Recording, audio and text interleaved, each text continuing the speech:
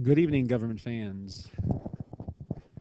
Today we're going to talk about the bureaucracy and uh, Congress's and the president's control over it.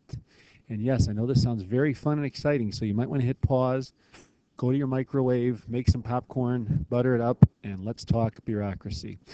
Now, in all seriousness, um, several AP questions over the years have asked questions about the bureaucracy, and almost every question involves a component of how it is controlled. What control does Congress have over the bureaucracy? How does the president control it?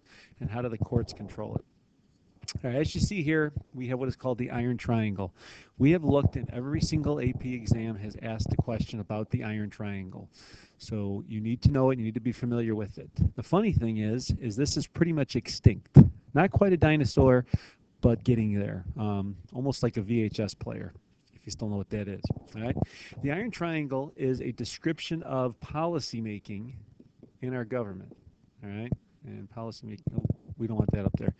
Hold on, ignore that for one second unless you're in America at war. There we go. All right. Policy making. There you go. Sorry, we're not going to restart that. All right. So the Iron Triangle describes policymaking and how our laws, our rules are made and how we implement these um, on a national scale. Okay. Now, as you can tell, there are three components to the Iron Triangle, thus the triangle term. This does not want to cooperate with me. Sorry about that. Okay. Um, in the iron triangle, we have three components. All right. Easiest way to remember this is the phrase big C. Big C. Okay. The bureaucracy. Every iron triangle has a bureaucratic agency that's a component to that. Okay. That crosses off bureaucracy. Interest groups, which we have yet to learn about, all right, are also part of that. There's the IG from big. Okay. Um, in this particular example from a previous textbook, it includes all of the various veterans organizations that are part of the triangle. And then the C is Congress, all right, where we have the congressional committees that are working to pass the laws that are going to implement the policies. So making a long story short, how the Iron Triangle works, or worked, there's really only one left, and it's the one you see here. The Veterans Affairs Triangle still kind of exists as an Iron Triangle, okay? The interest groups okay, which could be Vietnam veterans, disabled veterans, VFW, etc. Lobby for policy. They tell Congress what they want to have happen. So they're going to pressure Congress to pass a law in their benefit. All right. Congress is then going to pass the law that will help them. It might be more drug coverage for disabled veterans. It might be more veterans benefits, um, more veterans hospitals, something like that.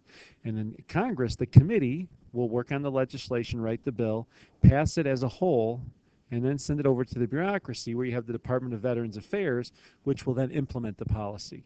Okay? So the group says what they want, Congress does it, bureaucracy enforces it, but the interest group is also telling the bureaucracy how they would like to see that implemented and um, and passed in our government. Okay, so everything kind of works together in one big triangle. All right. Now what we have now is what's called an issue network. Okay, issue networks are a little more complex. All right, they are include obviously your three components of the iron triangle. So you have your more World War II maps there for you. You have your bureaucracy. You have your interest groups. Okay, this is more new school. All right, how we do things today. All right, um, you have your bureaucracy. You have your interest groups. You have your congressional committee. All right, they all still work together, but there are more stakeholders, more people involved in an issue network. So an issue network describes the same thing an iron triangle does, just with more players and more components. All right. This will include members of the media. This will include what are called think tanks. All right. A think tank, all right, to make a long story short, is a university without students. It's a research institute. They do the research for the parties, for the different interest groups. All right, some of them are groups in and of themselves, um, and then they use that research to then guide future policy. Okay, some famous ones are the American Enterprise Institute, very conservative. You have the Brookings Institute, which is very liberal. All right, and then there's a Cato Institute that's libertarian. That's one of many think tanks, but these are just some examples. All right, of research institutions that help out the political parties and organizations. All right, congressional staffers are also part of an issue network. Okay, And there's some controversy to this because these people are not elected. We elected our congressmen, we didn't elect the staffers, yet they know more than the actual congressmen do. So the staffers are able to do a lot of the legwork and things uh, for Congress. Okay, so issue networks just include more people, more institutions, but does the same uh, same things as an iron triangle, which is make policy. Okay. Now, the president has several checks on the bureaucracy, um, and they exist kind of within our checks and balances system. Okay. Um, first, you can see he can appoint and remove agency heads. All right. Um, that appointment power that comes straight from the Constitution. A regulatory agency, which you should hopefully have already learned about today in class, if I was able to stay on task. I'm recording this Monday, so we may not have got there. You'll have to read about it. Um, but a regulatory agency, um, he cannot remove those because they are appointed by the president and then have a uh, term limit that is longer than the president, meaning that the president cannot remove them because they are at both Congress's and the president's discretion. Okay, um, so once they you become an agency head, that person's in for a long time. The Federal Reserve, which is a regulatory agency, has a 14-year term. so if Obama appoints a new Fed chair, that person could possibly be there for up to four different presidencies. All right, but any executive agency like the EPA, the FBI, he can hire and fire those people uh, at his discretion. He can also reorganize the bureaucracy with congressional approval. Okay, the largest reorganization we've ever seen of the bureaucracy happened after 9/11 with the Department of Homeland Security. All right, the president added um, a new department and consolidated a bunch of different agencies into one uh, group that way. Okay, uh, he can make changes in the budget. We're going to see that this week when President Obama unveils his budget. But if he wants an agency to get less money, they're going to be able to do less and have less power. And he can ignore these legislative initiatives. That's another check that he has. So if Congress is say, or if, if um, the bureaucracy says to do something and carry out a policy, the president can ignore that and tell his enforcement agencies not to do that, right? But the big check he has is appointment. That's your number one. If you know any of those, um, it falls there, okay? He can also initiate or adjust policies that would alter the agency's activities right, with congressional approval. So you'll notice Congress kind of has the final say in a lot of bureaucratic things. Okay, if he wants to try a new policy out or um, adjust what they're going to do, has to run that by Congress. And um, usually, if a president has a lot of political capital, Congress will approve. All right, we've already learned a lot about the executive order. All right, this can only be to an agency. Keep that in mind. So, a president tells an agency this is what you have to do, and it alters how a bill or a law is being enforced um, after it has been passed. Okay, and then he can reduce the budget, as we've seen there as well. All right, so several checks by the president, executive order, appointment, probably your top two. All right, moving along, Congress. All right, you saw they have some checks on the president and the bureaucracy, kind of hand in hand here. Um, passing legislation. It's a no-brainer. Okay, Congress passes a law, they can give more or less power to an agency. All right, if they don't like what the EPA is doing, they just pass a new law that limits what power and funds that they have. Right, one thing you want to make sure you know of is constitutional checks that the bureaucracy that Congress has. Okay, and then more informal checks. Because there was one year on the exam where they asked about uh, constitutional checks that Congress has, and some of these students were putting in the test and they were not getting credit for because it wasn't in the Constitution. So make sure you read a question carefully, Constitution versus not. Right? Passing legislation, that's in the Constitution, that's a more formal check. All right, Congress can abolish programs, uh, they can get rid of an agency if they want to. Okay, there used to be an ICC called the Interstate Commerce Commission that Congress outlawed because they were in charge of regulating railroad monopolies, and there weren't too many of those, so they sort of thought the agency outlived its usefulness. Okay, uh, oversight. This is one that is not in the Constitution, but it is a power Congress has. They can um, compel a bureaucrat, in this case Timothy Geithner, for the Treasury Department to testify uh, during their investigations this is what led to Clinton's impeachment also, was Congress was doing an investigation of the Justice Department, came across some of his uh, shady land dealings before we finally got to Monica Lewinsky. We'll talk more in class about that if you're interested. Um, but oversight is Congress just conducting a hearing, doing an investigation, and then if they don't like what they find, then they could impeach, they can pass legislation, and do other things along those lines. All right? Uh, Congress can influence the heads of the agency heads. All right? That's simply with the approval or denial of that. We are seeing that playing out right now. We have a uh, nominee for the head of the CIA and Congress is not wanting, or Senate more specifically, is not wanting to approve that because of uh, potential things that he might have done regarding use of drones and torture and other things like that.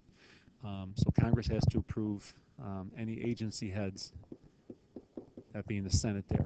All right? And then Congress can write legislation which limits the bureaucracy's discretion. They can limit what power they have or give them more power should they want that agency to be able to do more. Okay?